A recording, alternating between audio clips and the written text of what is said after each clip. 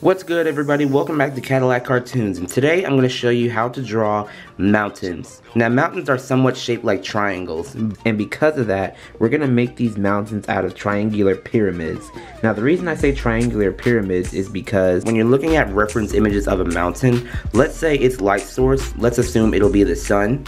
So the sun is shining upon the mountains wherever it is in the sky and one side will be lit up and the other side will have deep dark shades. So with whatever reference images of mountains you find on the internet, you can see that a mountain will be split in half between lights and darks. So when we get to the coloring portion of this video, I'll be able to give you guys a visual representation of what I'm talking about. But for now, let's get started. So I'm gonna take my Col-Erase pencil and I'm just gonna draw like a just like a, a triangle shape, sort of like a, a dune like a dune shape, but still a triangle. And a triangle usually has three sides, so I'm just gonna draw the two pointy ends, but then the bottom one I'm gonna leave blank because I wanna draw several different mountains that are kind of surrounding it. So let's draw another one behind it.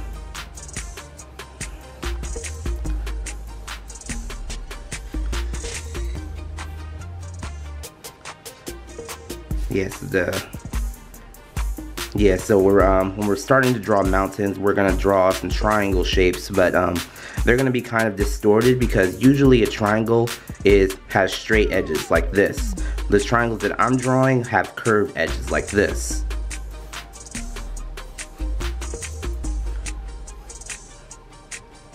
Actually, let me make this one a little bit bigger.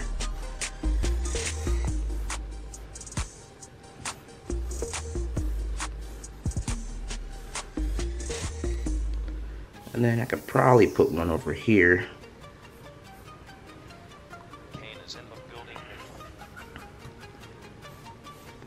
Yeah.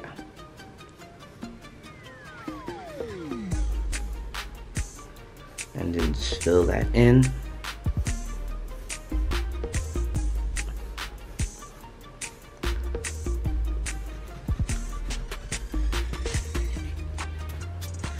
Okay, so there's our initial shapes for our mountains. You can choose to make the peaks of the mountain, you can choose to make those sharp, but obviously they don't have to be. Okay, so now we're gonna split each of these triangles in half, but we're not gonna do it directly down the middle like we would a regular triangle.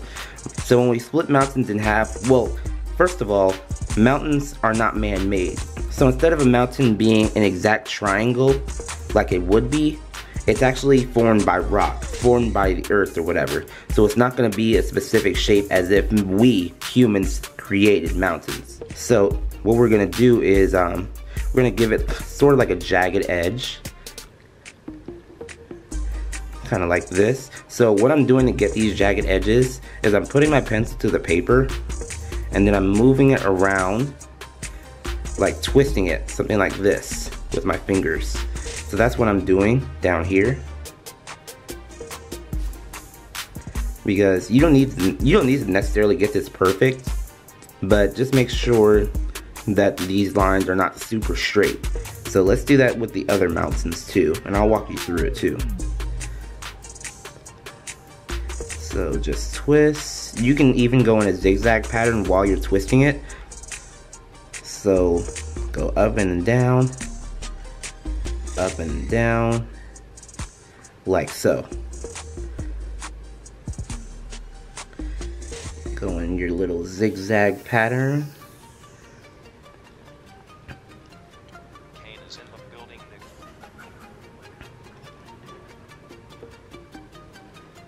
Like that.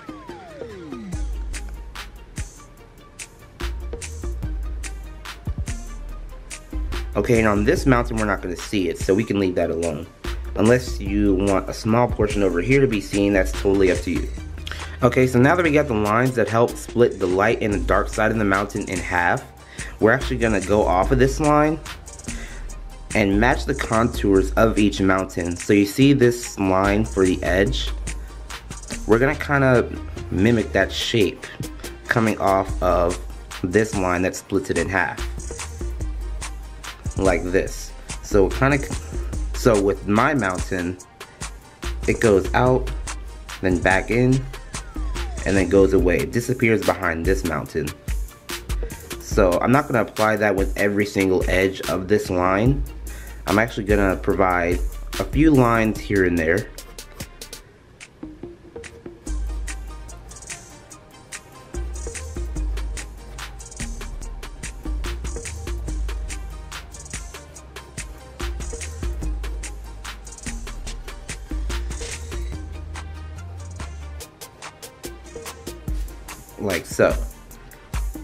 Do that with all the other mountains too.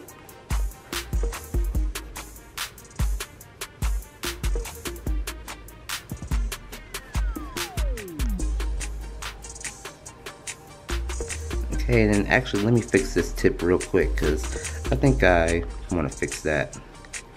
Give it like a soft tip.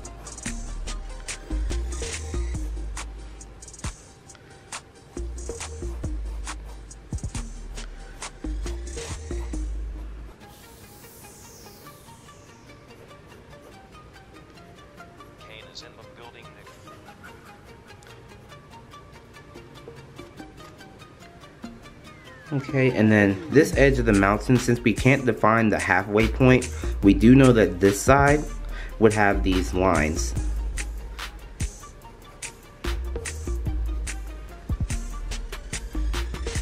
And then let's do it with the foreground mountain too. Okay, so we pretty much got our mountains drawn already. You can leave it like this if you want. The sketch is already done. But what I am going to do is I'm going to ink this in time lapse and then come back to you guys and show you guys how to add some color.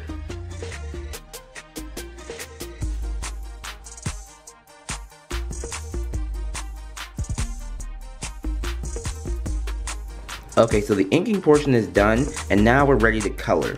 So, I'm gonna use markers today, and I'm using a combination of Copic markers and the Ohuhu markers. The colors I'm using are a colorless blender. I'm using the Ohuhu brand.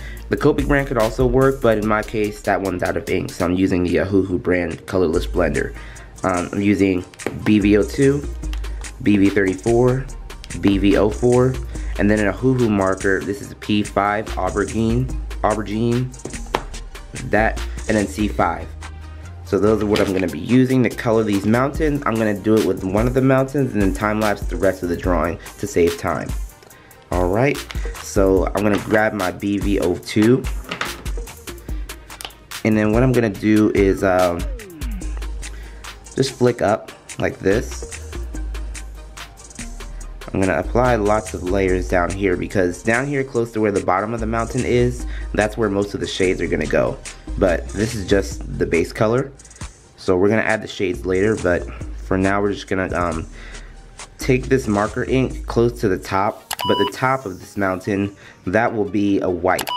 So that's why I have my colorless blender. So we're not gonna go all the way to the top with this marker, but close enough to the top so we can apply the colorless blender.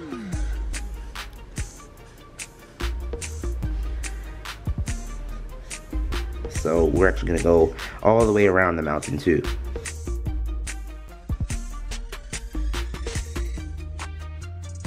See how we're getting that effect already?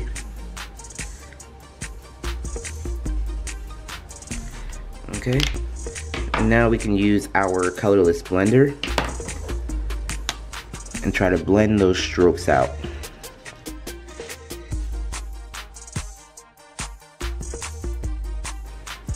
Okay. So I think I got a good enough blend to the white.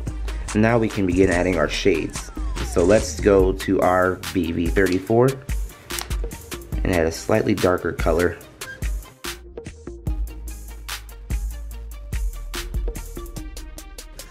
I think this will take more effect when we add the darker shades because this is an in-between color. So let's use our BV04 yeah, see, that has a darker value, so we can use this.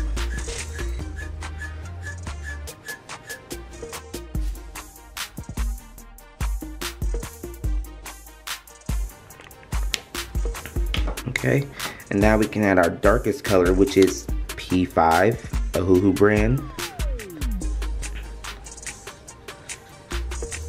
we can just apply this close to the bottom of the mountain. We can apply it in a big, large area so that we have room to blend it. So I'd say about here is a good spot.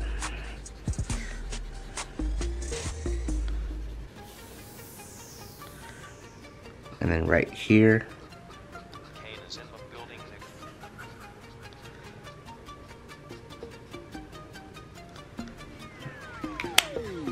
Alright, and now we can work backwards. So let's use our BV04 and blend this color out.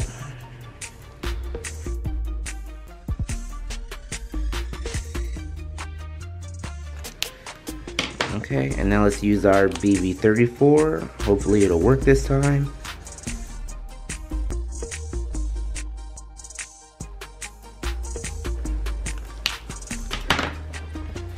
Okay, now we can use our last color, which is BV02. And we gave ourselves room to blend this without exactly going into the white. So that's a good thing. Let's try to mix that in as well as we can.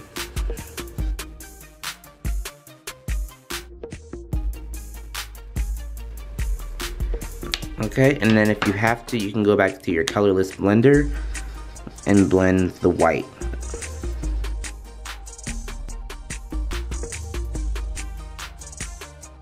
So now we're at this point of coloring the mountain. We're not exactly done yet because now we can really determine where our light source is. So the reason I colored this and then said light source is because I know for a fact that the shades are close to the bottom of the mountain, which is down here.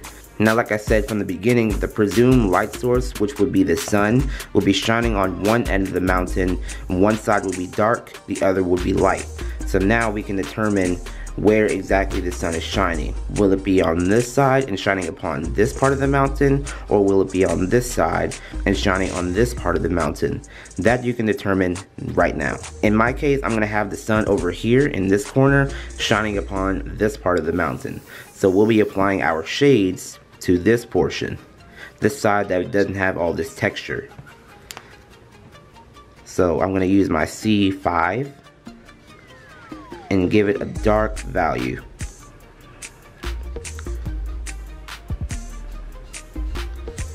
And then just make everything dark. So I'm gonna uh, take this C5 and blend it with this um, with this purple down here. And then we can use our BV34. Helps blend with the gray so why not?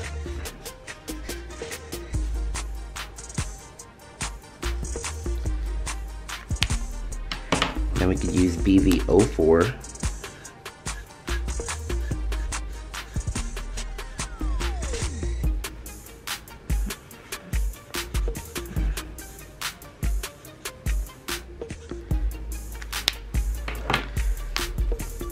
Let's blend this back in.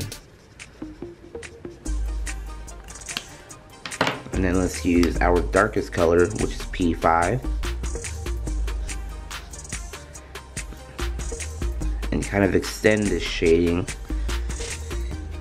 a little bit higher on the mountain.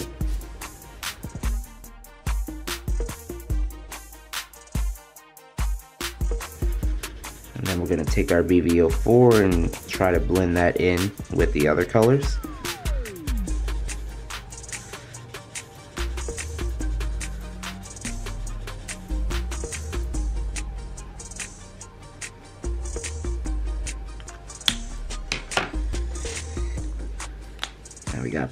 BV34, and I think this would be it in terms of the color.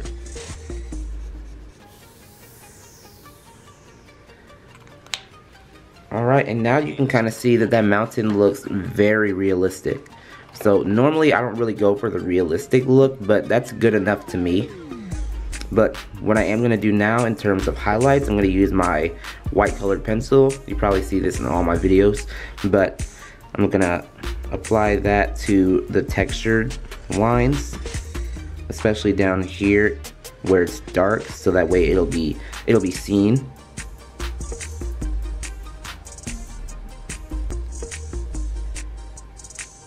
See, like, cause the Prismacolor colored pencils act like paint.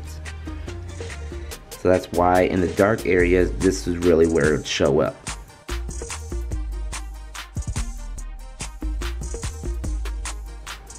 White parts, white on top of white really won't be seen. But you get the gist of it. That's really how you do it.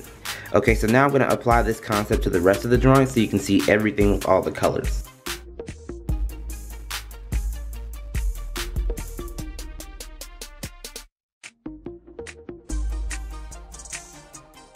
So here's the finished drawing. I hope you guys like how it turned out because I personally love it myself but I did leave the sky out. But if you do want to learn how to color the sky, I got two videos on how to draw the sky.